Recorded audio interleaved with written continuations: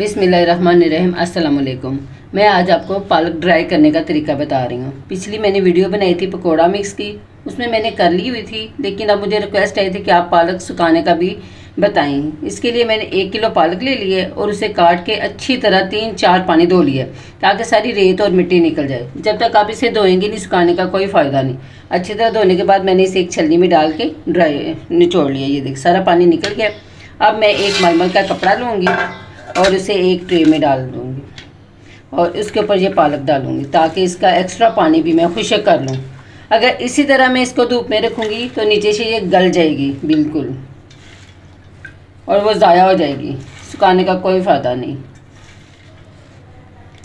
ये मैं मलमल के कपड़े के ऊपर डाल के देखिए अभी भी इसके नीचे पानी आ गया इसको इस तरह पुश कर लूँगी। ये इसका एक्स्ट्रा पानी सारा कपड़ा जज़ब कर लिए, देखिए, किस तरह खुशक हो रहा है। इस तरह करके दो तीन बार चारों तरफ़ से ये, आप एक्स्ट्रा पानी सारा इसका खुशक कर लें। इसको डायरेक्ट धूप में नहीं डालना, नीचे कपड़ा मलमल का या कोई चादर बिछा के धूप के ऊपर फिर इसे डाल है, इसके ऊपर इस तरह फैला दें। अब मैं एक बड़ी चादर लूँगी, उसे चार पाई पे, छत पे जाके धूप में डाल के आऊँगी और शाम को फिर आपको बताऊँगी कि इसका क्या करना है। ये सारे दिन की धूप के बाद ये पालक देखे, हमारी कितनी ड्राई हो गई है।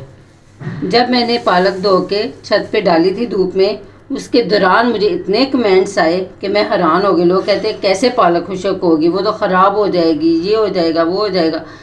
मैंने इसलिए ये करके दिखा दिया है कि पालक ख़राब नहीं होगी। इसको ये देखें, कहाँ से ख़राब है? बिल्कुल ड्राई हो गई है, बिल्कुल सूख गई आप जितना मर्ज़ी इससे पकौड़ा मिक्स बनाएँ। अगर आप और भी किसी चीज़ में ड्राई पालक इस्तेमाल करना चाहते हैं तो वो भी कर लें। लेकिन ये बिल्कुल खुशक है कोई ख़राब नहीं होती मेरे तरीके से, अगर आप इसको सुखाएँगे तो। और इस तरह मैं वैसे भी बता सकती थी, मैं कमेंट्स का जवाब कमेंट्स में भी बता सकती थी। दो उंगली मैंने चलानी थी, एक मिनट में मैं जवाब दे दी थी, इस तरह कर ले, इस तरह कर ले। लेकिन मैंने ये प्रैक्टिकल करके इसलिए दिखाया है कि आपको समझ आ जाए कि पालक किस तरह सुखानी है और सूख गई है, ये देखें। बिल्कुल खुशक हो गई है। इससे आप पालक का पकौड़ा बनाएँ और जब ये देखें, जब हम इसे गीला करेंगे तो ये इसी तरह फूल जाएगी। और पालक पकौड़ों में इसलिए डालते हैं कि क्रिस्पी बने, खस्ता बने पालक के पकौड़े और मज़ेदार बने।